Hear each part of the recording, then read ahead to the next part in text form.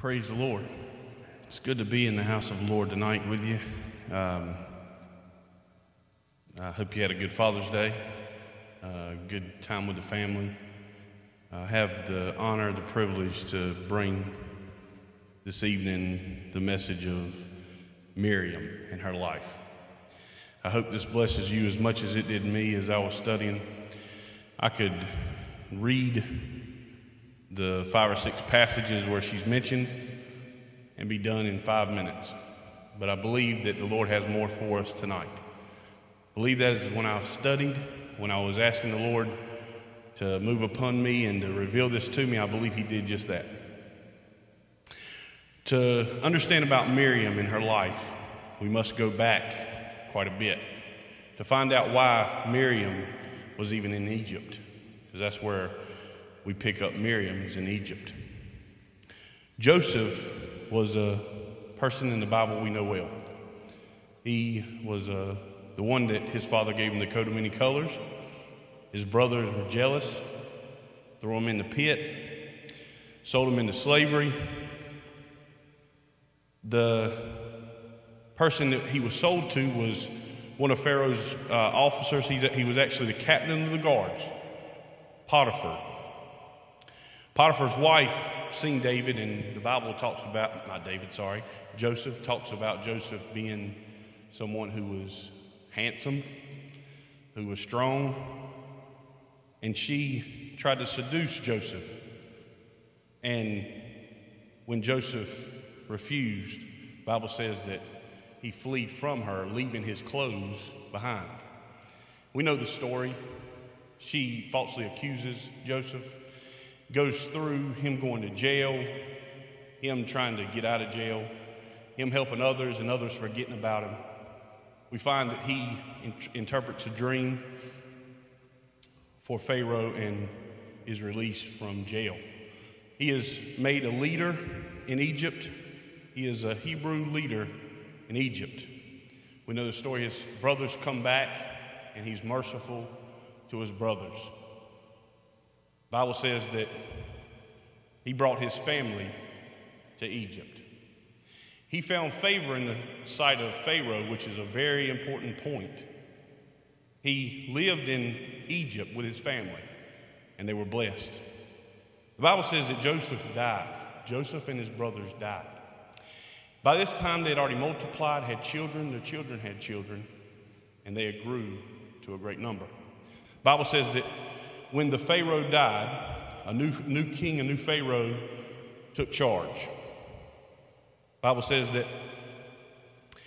he didn't know about Joseph or forgot Joseph and all the benefits that he had brought to uh, Egypt. And when he saw the number that the Hebrew, uh, uh, the Israelites were growing to, he was afraid. Bible says that he enslaved them, and that's where it takes us to our first scripture. Let's look together in Exodus chapter 1, verse 8.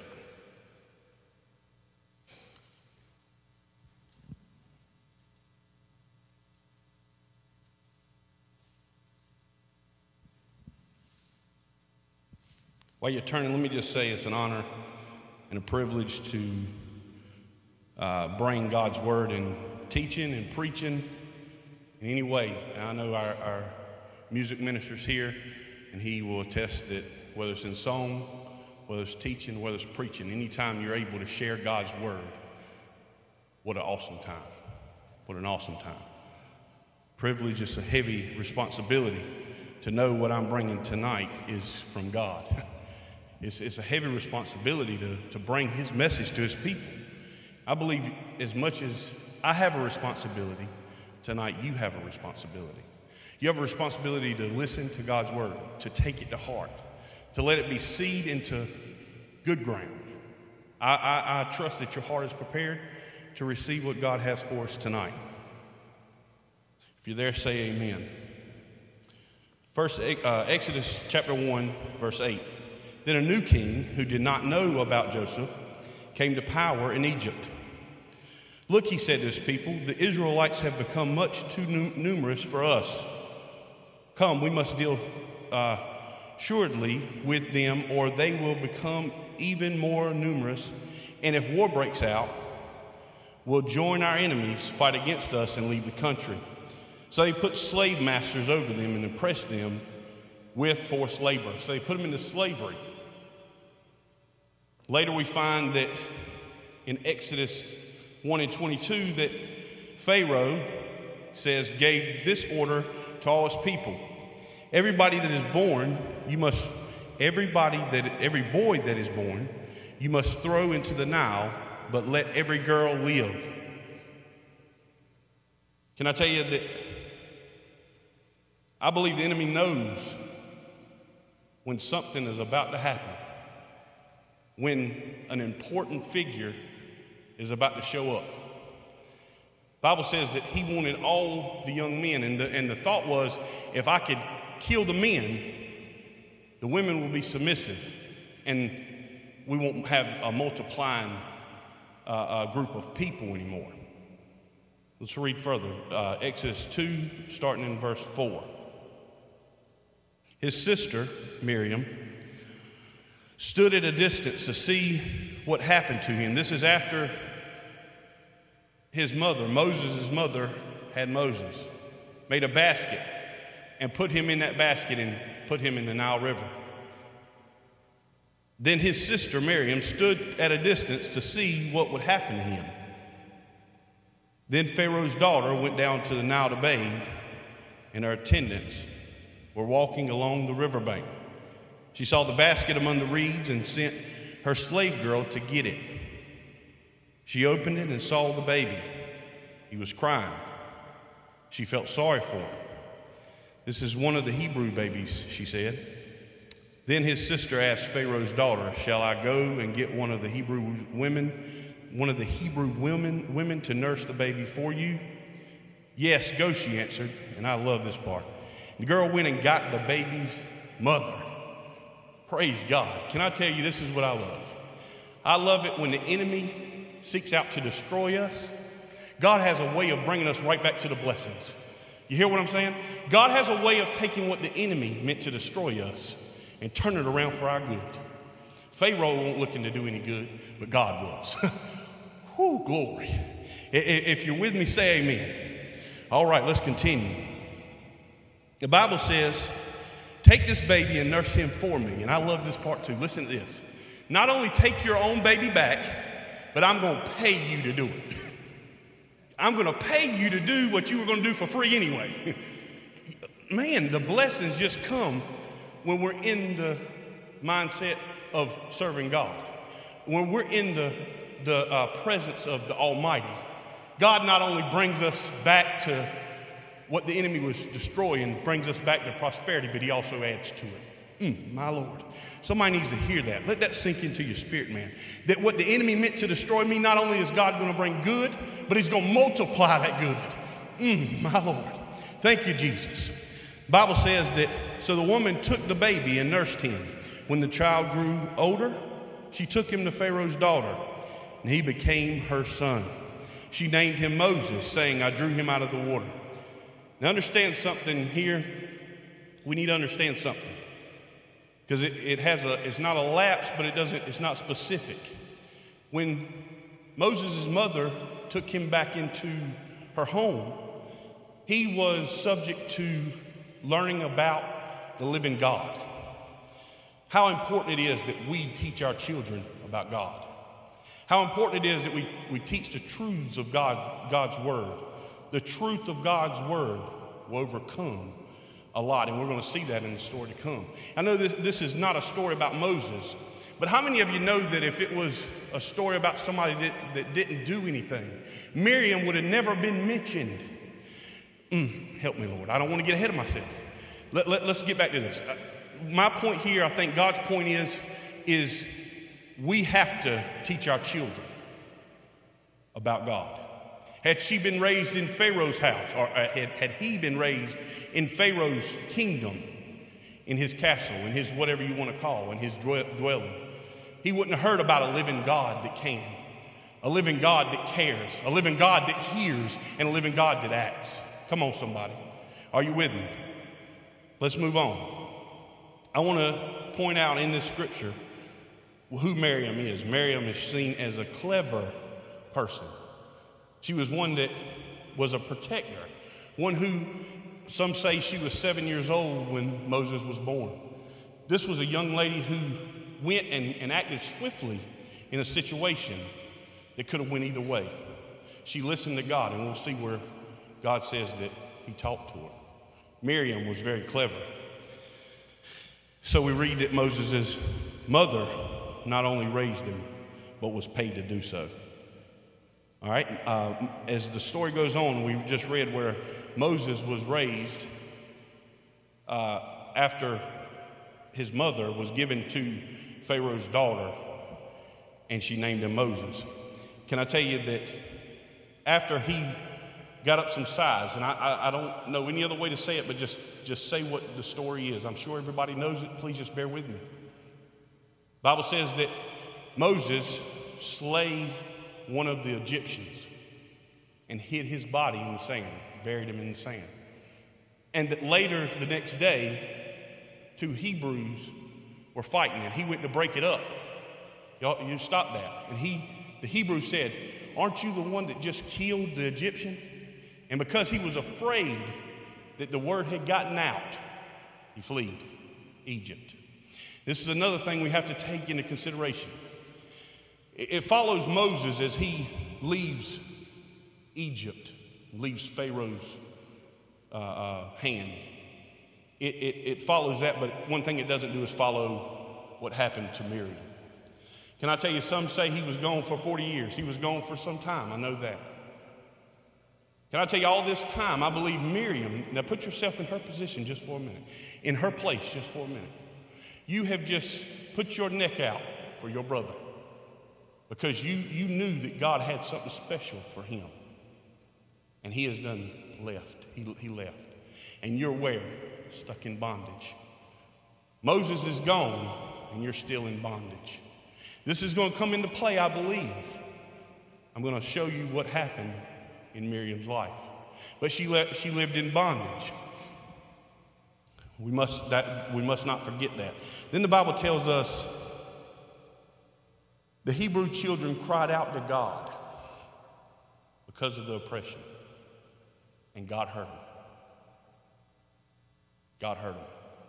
Bible says that the king or the Pharaoh died. And we know about the burning bush. And, and I get excited. I, I'm, I'm trying to teach, I promise, but I, I'm not a teacher, I'm a preacher.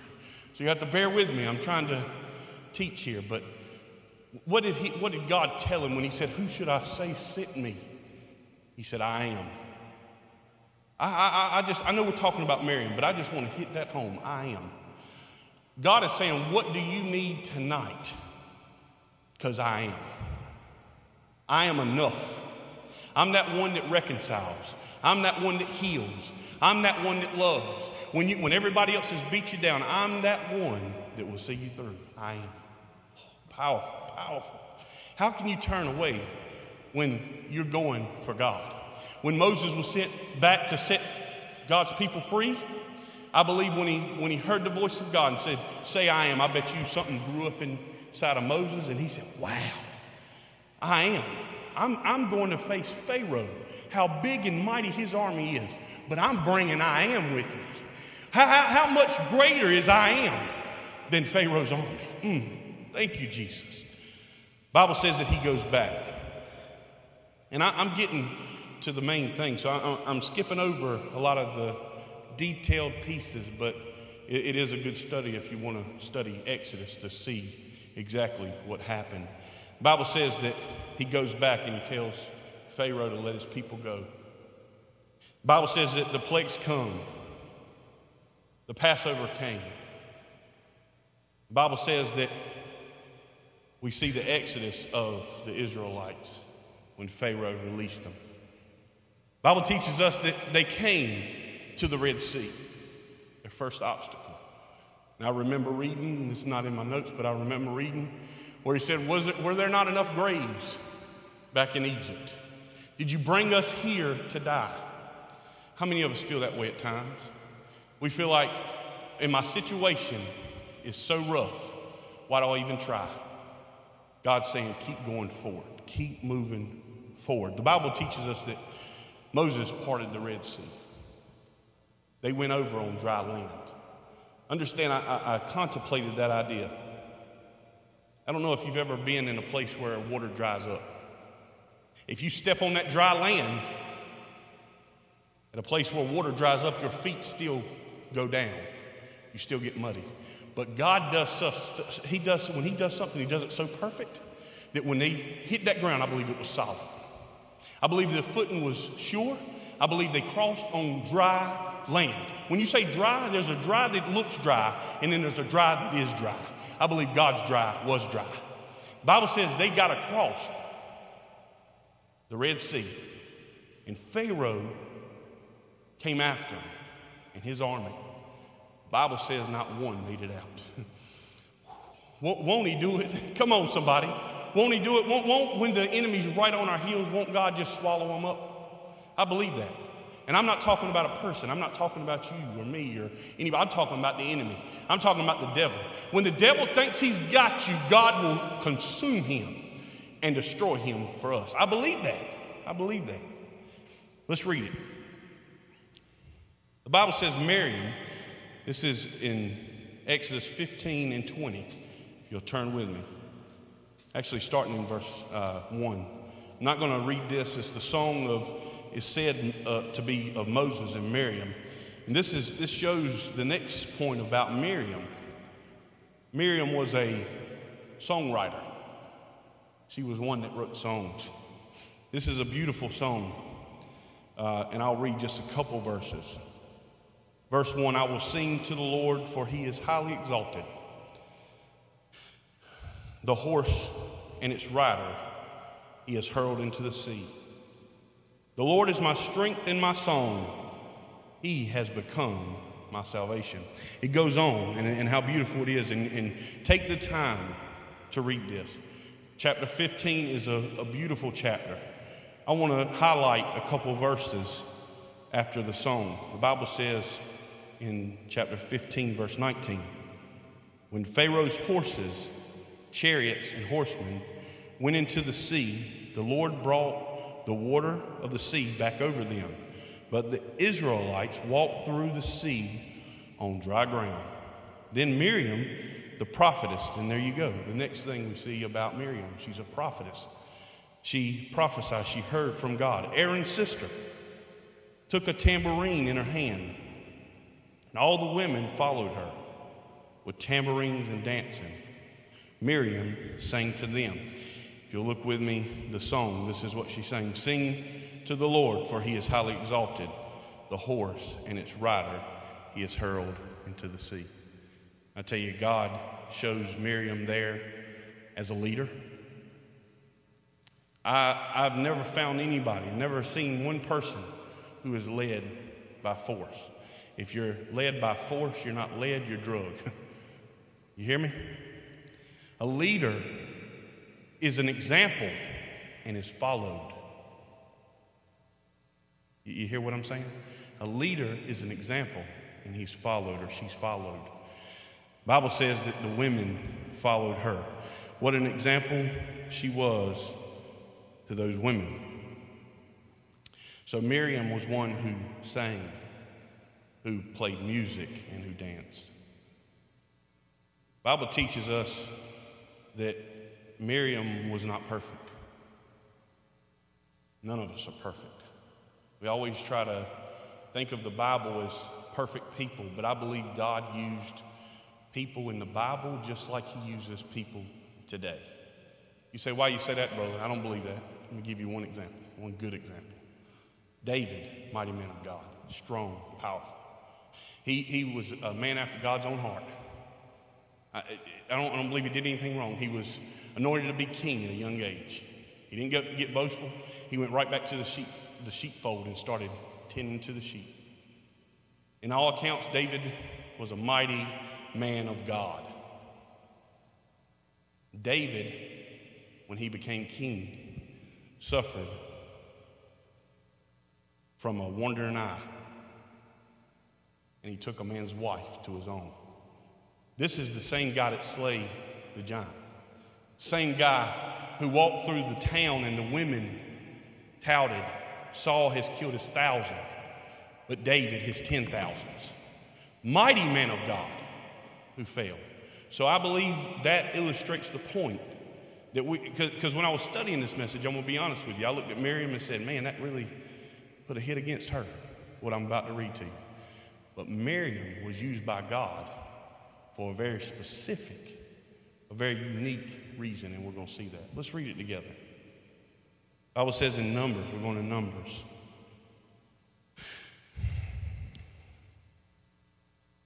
I'm going to bring up once again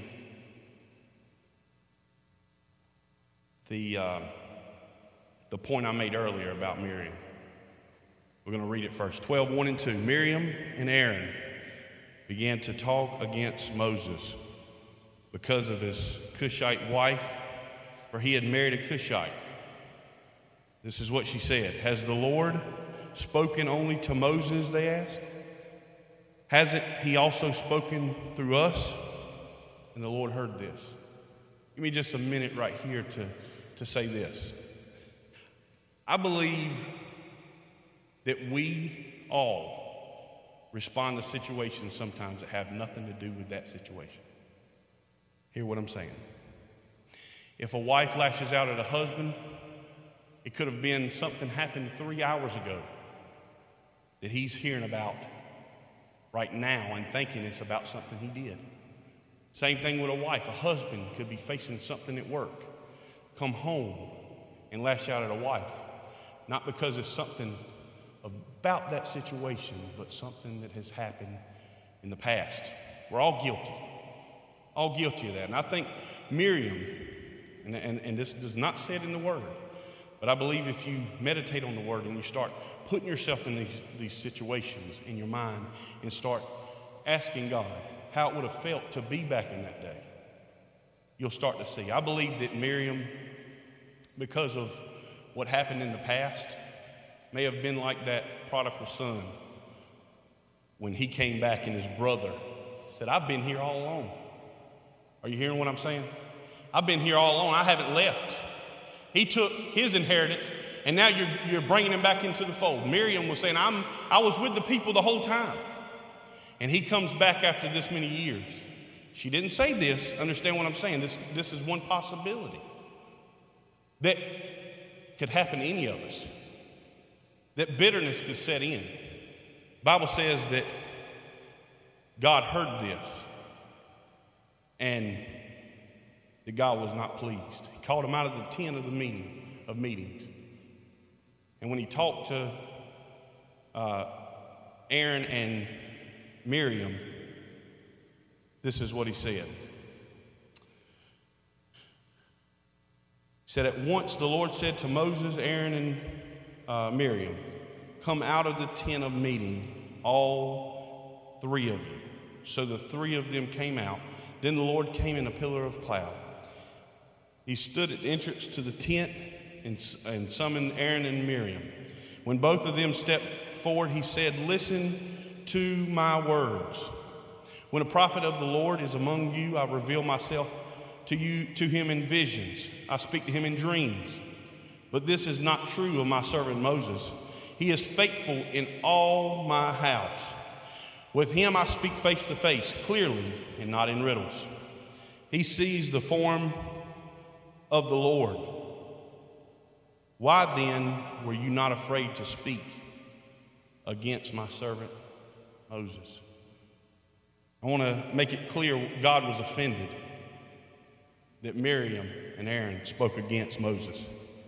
Bible makes that clear in, in the way he spoke to Aaron and Miriam. The Bible says in verse 9 of that same chapter, the anger of the Lord burned against them, and he left them.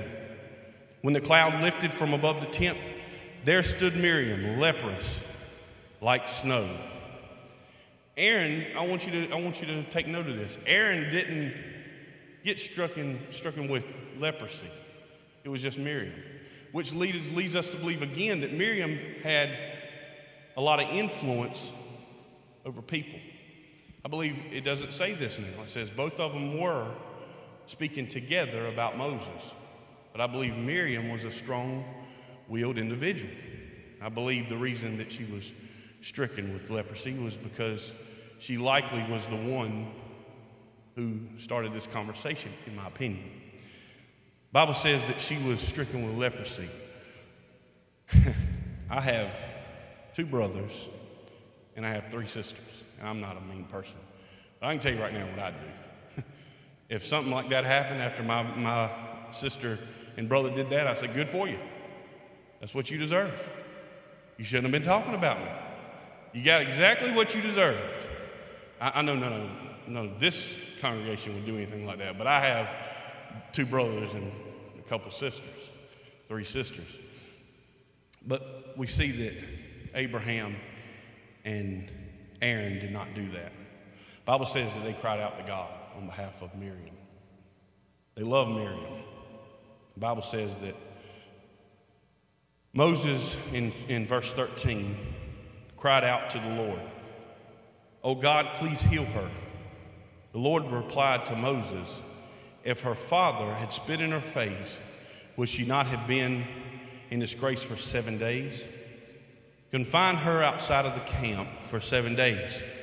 After that, she can be brought back. So Miriam was confined outside the camp for seven days, and the people did not move, did not move on until she was brought back.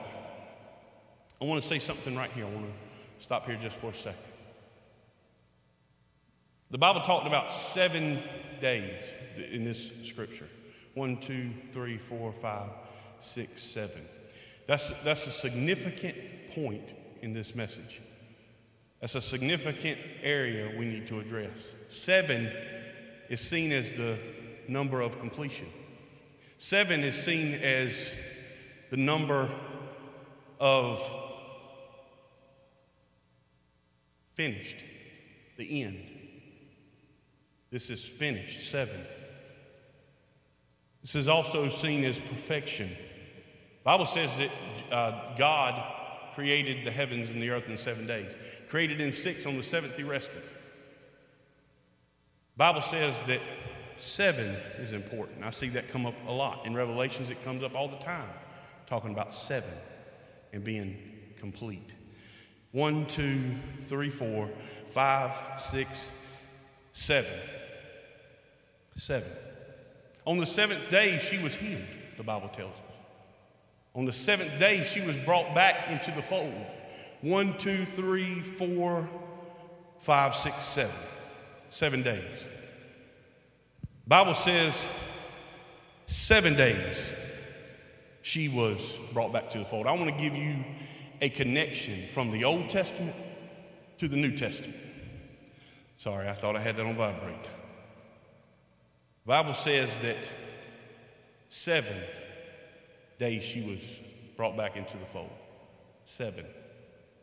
And I believe that if we go all the way back to uh, Adam, when he sinned for the first time, it looks a whole lot like what happened to Miriam. He made a mistake, he went against God. That's basically what Miriam did. She went against God when she spoke against God's servant Moses. What happened to Adam when he went against what God told him? He was put outside of the garden. No much, it's not much different than what happened to Miriam. Miriam was separated from her group. The Bible, I, I believe, teaches that when somebody has leprosy, somebody goes before them and says, unclean, unclean. She was separated from her group. Just like Abraham, uh, uh, Adam was separated from his relationship with God.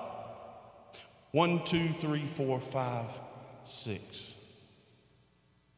Teaches in the Bible where all the things that happened. Animals had to be sacrificed for the covering of sin. One, two, three, four, five, six. This is the point right here. This is where we want to be. When God does something, he does it complete. Do you believe that? One, two, three, four, five, six, seven. Jesus came to die for our sins. Seven, complete. Now we are uh, welcomed back into the fold, back into the uh, uh, right relationship with God. One, two, three, four, five, six, seven. Connections between Miriam and what she did and how she was separated looks an awful lot like the redemption story of Jesus Christ. How we're the salvation, how we're saved. God was merciful to Miriam, and He is merciful to us. God is merciful to us. And you say, Well, I, have been pretty bad. I've done this, I've done that. Can I tell you, because God does a complete work one, two, three, four, five, six, seven God will forgive you no matter what. And God will set you back right. Where you was unclean, God said He's going to cleanse you. And, th- and this is what God does, and I love this. I, I, I absolutely love this. God does not sacrifice again. Hmm, my Lord. He sacrificed that animal that time, and that sin was covered. You know they had to sacrifice another animal the next year, and the next year, and the next year, and the next sin had to be covered. This sin wasn't covered. I'm glad that my God does it complete. he done it one time, He done it with Jesus, and He don't have to do it again. Can I tell you, my God does things one, two, three, four, five, six, seven, completely. God does not do things halfway, He goes all the way. I don't have to go back. I don't have to go back and say, God, I, I, made a mistake. I need your son to die again. He said one time was enough, and it covered it all. Oh, sweet Jesus. Thank you, Lord. Can I tell you, my God is faithful. My God is faithful. I believe Miriam's story is not by accident. And I said it earlier, and I'm going to repeat it now. I believe that we all have a purpose in this life, every one of us. How many of you like tomato sandwiches? Come on now, we're in the South. Come on. Okay. You'll understand this, you'll appreciate this. My father in law plants tomato plants. I'm not a farmer, so if I mess this up, please just bear with me. I can eat it, but I can't plant it. I can plant it, but I ain't gonna grow it. but the truth is, is he'll plant a tomato plant, put the seed in the ground. How foolish would it be if he goes out and digs that ground and preps it for so long, I've watched him do it before. He'll prep and prep and prep that ground. When it's finally right and it's, he's got it in rows, he'll come back and he'll dig a little hole and drop the seed in and cover it up. How foolish would it be for me to stand there and watch him plant all those plants and then go in the house, get me a table, set it up at the end of the row, get me some bread and start putting some mayonnaise and salt and pepper on it, and go to try to start picking that tomato. That would be foolish. That would be foolish. God has a timing, and we have to get in that timing. We can't get before God, or we'll, re- we'll rip up that seed that one day will produce beautiful fruit that will feed people, that will nourish people. But if we get ahead of God and we dig up that seed, it'll be no good for us. How many of you in your families have planted seed and been frustrated? It's been two months. I've been inviting him. I've been inviting her. It's been a year. I've been t- telling that person to get off drugs. I've been telling them they needed help. It's been a year. I told that person he needed to stop running around with his wife or she needed to stop running around her husband. I, I, I just, I can't wait. I got to dig that seed up. God said, leave it. God said, in due season, mm, my Lord, in due season, you'll reap in due season, you'll reap. No, it, it, makes no more sense for me to stand there and, and make that bread prep for that tomato.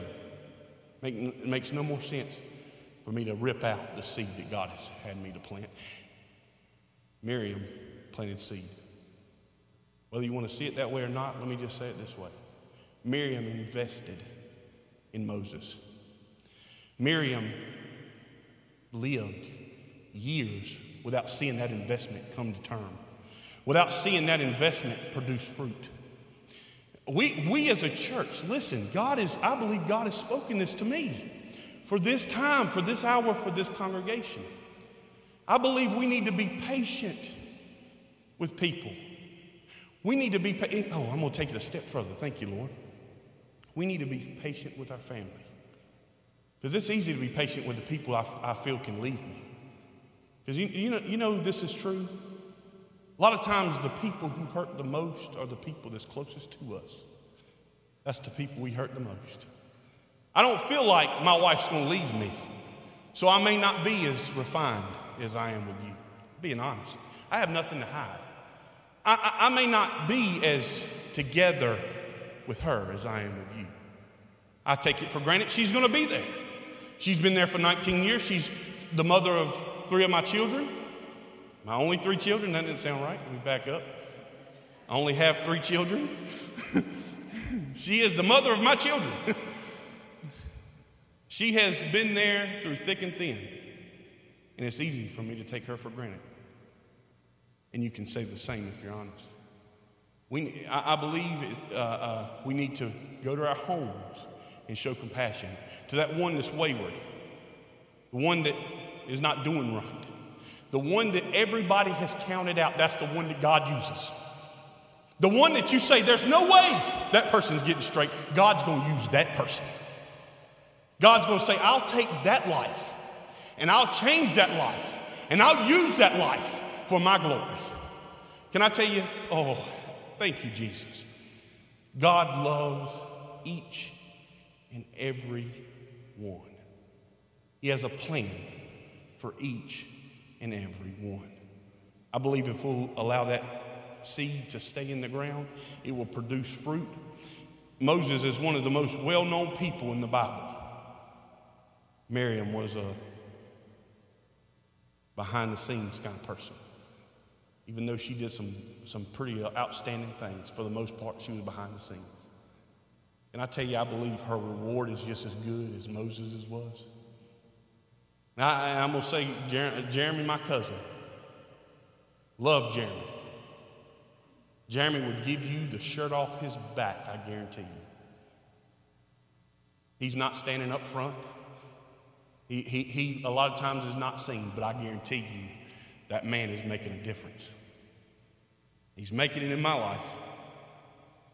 And he's not boastful, he's not heard of. You don't hear his name announced over a loudspeaker somewhere, but he's making a difference in the kingdom. I believe that. I believe that. Miriam's reward is not broken down because her name wasn't huge in the Bible. I believe God sees everything. I don't believe any of our efforts are lost. I believe God sees it all. I would tell you now if you're wondering, what good am I doing? We all feel that way at times. Keep doing it. If you're walking on a path toward God, keep doing it. Because I can tell you in due season, in due season, oh, hallelujah. I'm gonna, I'm gonna, I'm gonna pick that tomato. I'm gonna, and that's the way I eat it. I'm gonna peel that skin off. I'm gonna slice that bad boy up and I'm gonna eat me a sandwich. Can I tell you, because I waited, I was patient, I didn't pick it early, I didn't dig that seed up, but I waited. If you will wait on the Lord, mm, oh, sweet Jesus, if you'll wait on Him, can I tell you, I'm going to show you one more piece and then we'll close about Miriam. Can I tell you, Miriam made a huge difference for the kingdom. If you'll turn with me to, let's get down to where we need to be. Numbers 20 and 1. I can tell you I love the Lord. The Lord has been merciful to me. He has been gracious and He has been patient more than I have been with Him and others. But I can tell you we're all growing. If we'll stay in His presence, if we'll stay connected with Him, He'll take us where we need to be. The Bible says in Numbers 20 and 1. The first month, the whole Israelite community arrived at the desert of Zin, and they stayed at Kadesh. There, Miriam died and was buried. The Bible tells me that she died and was buried. Bible says that the people were complaining of thirst. They were thirsty. I never seen this quite this way as I, I studied for this message, for this teaching. I never seen it quite this way. The Bible says in verse 9, Moses took the staff, this is after he prayed and got direction, from the presence, from the Lord's presence, presence, just as he commanded him. He and Aaron, he and Aaron gathered the assembly together in front of the rock, and Moses said to them, Listen, you rebels, must we bring you water out of this rock? Then Moses raised his arm, struck the rock twice with his staff. Water gushed out, and the community and the livestock drank. Why is this important? If we're not careful, we will read right over this and not see the significance.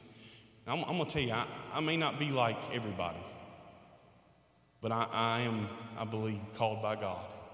I believe God gives me these understandings, gives me these illustrations, and I don't believe they're wasted. I believe this is what he's telling us in this passage of, passage of Scripture. Miriam was loved, Miriam was missed. Can I tell you, Miriam, as much as she did, must have made an impact.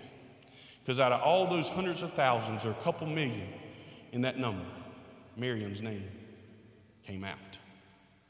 She made a difference.